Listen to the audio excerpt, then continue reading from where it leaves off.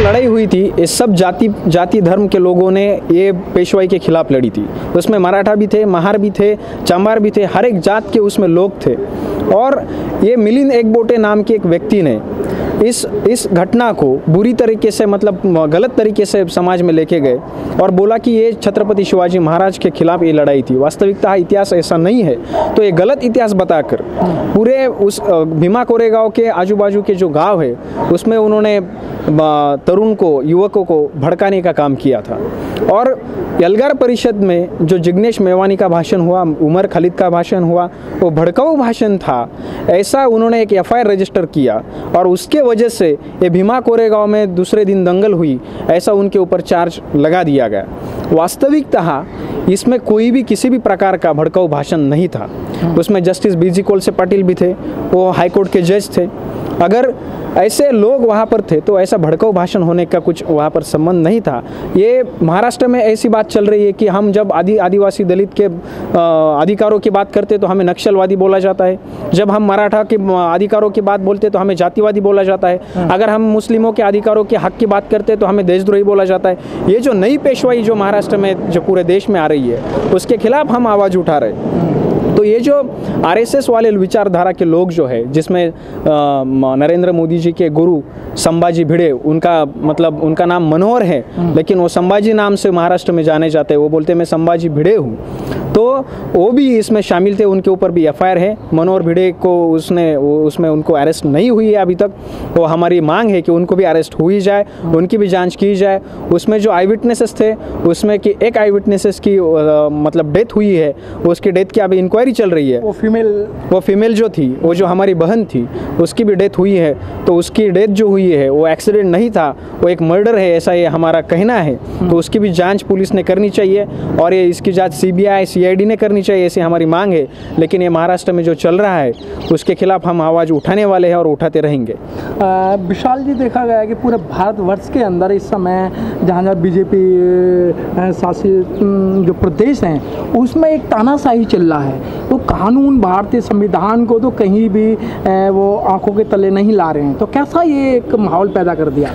देखिए भारतीय संविधान ने हमें जो मूलभूत अधिकार दिए हैं जैसे कि शिक्षा का अधिकार हो राइट टू फ़ूड हो राइट टू लिवलीहुड हो जो फंडामेंटल बेसिक राइट्स जो है जो किसी भी जाति के हो अगर मैं मराठा हूँ तो मैं अगर मराठा समाज में जो बेर बढ़ती हुई जो बेरोजगारी है वहाँ पर जो हमें एजुकेशन नहीं मिल रहा है इसके ऊपर हम आवाज़ उठाते तो हमें हमें जातिवादी बोला जाता है।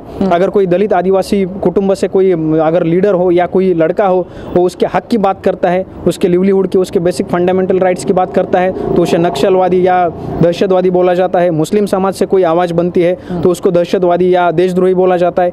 ये जो चल रहा है ये भाजपा शासित राज्यों में चल रहा है। ये इन्होंने ऐसा एक माहौल बनाया है पूरे देश में कि जो भी ये सरकार के खिलाफ बोलेगा वो देशद्रोही है। और जो सरकार की बाजू में मतलब जो नरेंद्र मोदी का गुणगान गाएगा वो देश प्रेमी है। वास्तविकता इनका देश के स्वतंत्रता संग्राम में कोई योगदान नहीं था वो अलग बात है। लेकिन हम हमारे हक की हम हमारे राइट्स की हम हमारे फंडामेंटल राइट्स की बात करते हैं तो ये जो इसके खिलाफ जो ये मूवमेंट बना रहे हैं ये जो वातावरण बना रहे हैं वो बहुत बुरा है। ये एंटी कॉन्स्टिट्यूशनल मूवमेंट्स ये सब ये बीजेपी की तरफ़ से चल रही है। ये बहुत गलत हो रहा है। हमारे देश का संविधान खतरे में है। हमारे देश में मतलब धर्म के नाम पर जो राजनीति चल रही है अब अब मुझे बताइए किसान आत्महत्या कर रहा है विद्यार्थी आत्महत्या करना है कर रहा है मतलब शहरों में नस्लें खत्म हो रही है किसान खेतों में हमारी फ़सलें खत्म होते हो रहे हैं और ये बोल रहे हैं हिंदू धर्म खतरे में। अगर किसान हिंदू नहीं है क्या मराठा हिंदू नहीं है? दलित के जो ये भी हिंदू नहीं समझते आप? अगर हिंदू धर्म खतरे में है तो किसान किस किस धर्म का है? वोट लेने के लिए हिंदू है बाकी दलित हैं। बाकी दलित है। जब जब हिमालय में किसी ब्राह्मण की वहाँ पर हत्या होती है तो हिंदू की हत्या होती है। अगर कोई महाराष्ट्र में अगर हमारे महार जात के कोई किसी लड़के की मौत होती है तो उसे दलित की हत्या कही जाती है। वहाँ पर वो हिंदू की हत्या नहीं बोलते। इनका जो हिंदू और जो दलित का जो पैटर्न है बीजेपी वालों का वो बहुत अलग है। वो सिर्फ़ वोटों के लिए उन्होंने पैटर्न बनाया है। ये अभी हमें पता चला है ये जो आरएसएस की राजनीति है ये हमें समझ रही है। और इसके खिलाफ हम जब आवाज़ उठाते हैं वो मराठा होगा तो उसे जातिवादी बोला जाता है वो मुस्लिम होगा तो उसे देशद्रोही बोला जाता है। अगर उन दलित आदिवासी हो तो उसको नक्सलवादी बोला जाता है। ये जो नई पेशवाई आई है इस पेशवाई के खिलाफ हम लड़ते लड़ने वाले हैं और आगे से भी हम लड़ेंगे। एडवोकेट विशाल कदम जी आप जिस तरीके उन्नीस में जो चुनाव होने जा रहा है जी। अब ये आ, अपने जो जो इन्होंने जो काम किया उन्हें छुपाने के लिए कभी कि दलितों का सहारा लेते हैं मुस्लिमों का सहारा लेते हैं लब जिहाद का लेते हैं या आ, कि एंटी रोमियो का इस तरीके से लेते हैं। तो क्या दो 2019 के अंदर ये रिपीट मारेगी या हम्म, ये ख़त्म होगी? देखिए ये गवर्नमेंट जब से आई है तब से हर फ्रंट पर एक गवर्नमेंट फेल हुई है। इन्होंने जो पॉलिसी लाई थी वो पॉलिसी जो है गरीब दलित आदिवासी किसान के खिलाफ की ये सब पॉलिसी है। तो समाज में अभी ये सरकार के खिलाफ बहुत मतलब आवाज़ आ रही है। ये कोई भी लेकिन ये तो गरीब लोगों के दिल के अंदर पुकार है कि हमें ऐसा नहीं लाएँगे। लेकिन जो पूंजीपति लोग हैं जो पैसे वाले लोग हैं वो भी आज बीजेपी की ही बात करते हैं। जी पूंजीपति वगैरह कोई किसी की भी जो बात करे हमें हमें डॉक्टर बाबा साहेब अंबेडकर ने बोला था कि जब उन्होंने देश का संविधान दिया था तब उन्होंने हमें कहा था कि तुम्हें इस देश की सत्ताधारी जमात बननी है। अभी हम समाज में जा रहे हैं और लोगों के फंडामेंटल राइट्स के बारे में हम बता रहे हैं। तो अब आने वाले समय में पूंजीपतियों का जो भी राजकारण है जो भी पॉलिटिक्स है वो बड़ा बहुत बड़ा चैलेंज है। हमें हमें हमारे देश का कॉन्स्टिट्यूशन बचाना है। 2019 में अगर ये रिपीट होती है तो ये कॉन्स्टिट्यूशन को ख़त्म करेंगे। कॉन्स्टिट्यूशन को ख़त्म करेंगे मतलब क्या करेंगे? तो ये यहाँ पर लोकशाही नहीं रह, रहने देंगे। यहाँ पर जो इक्वेलिटी जो फंडामेंटल बेसिक राइट्स जो कॉन्स्टिट्यूशन ने दिए है वो ख़त्म कर देंगे। ये रिजर्वेशन को तो ख़त्म कर देंगे। मानना ये है कि 2019 में अगर ये दोबारा रिपीट करते हैं फिर जब दो अगला जो जो चुनाव होगा चुनाव होगा नहीं। जी। जो मनुस्मृति है उसको पूरी तरह से लागू जी मनुस्मृति ये इनका जो कॉन्स्टिट्यूशन है। अगर आपने ये आरएसएस का कॉन्स्टिट्यूशन अगर पढ़ा गोलवलकर ने जो बुक लिखी है, वो अगर बुक आपने पढ़ी बंच ऑफ़ थॉट तो उसके ऊपर उसमें उनका कॉन्स्टिट्यूशन है। तो इनकी जो विचारधारा है, ये गुलामगिरी की विचारधारा है। ये कुछ लोगों का कुछ कुछ विशिष्ट लोगों का इनको राज यहाँ पर देश में लाना है।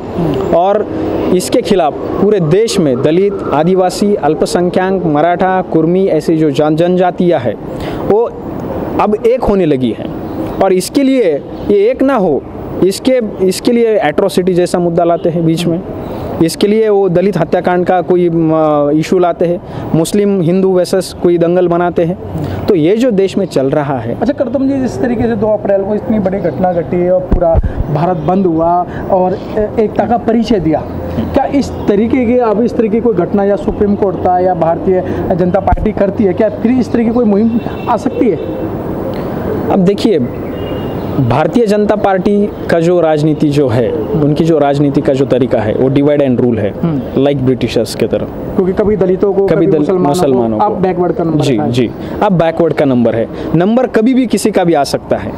हाँ। हाँ मैं मराठा हूँ मेरा नंबर शायद देर से आएगा। आएगा। आज दलित का नंबर है फिर बाद में मुसलमानों का नंबर आ सकता है।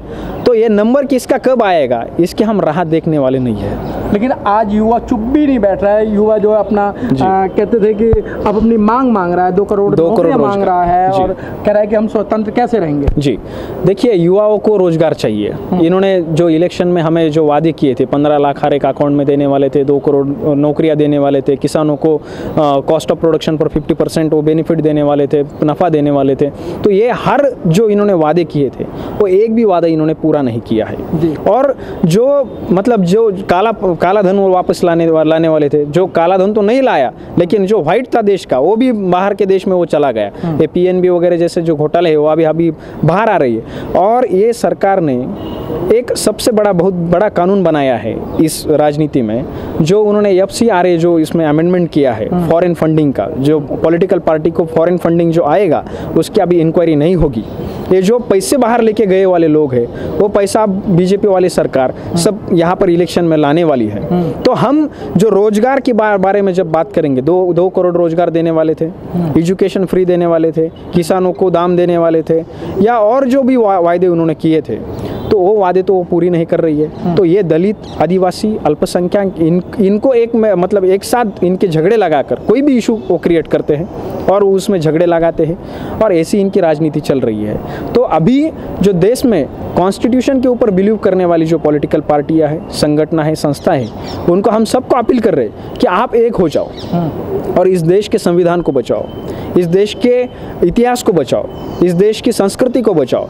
ये देश का संविधान बदलना चाहते हैं संस्कृति बदलना चाहते हैं जो इक्वलिटी है जो इंटीग्रेशन है ये भी तोड़ना चाहते हैं। तो इसके खिलाफ पूरे देश से आवाज़ आ रही है महाराष्ट्र से भी आ रही है और हर एक गाँव से किसान अभी आ, मतलब आ, उसके राइट्स के लिए उसके हक के लिए न्याय के लिए वो भी रास्ते पे आ रहा है युवा भी आ रहा है हर एक तबके से आवाज़ आ रही है उसको दबा नहीं सकते।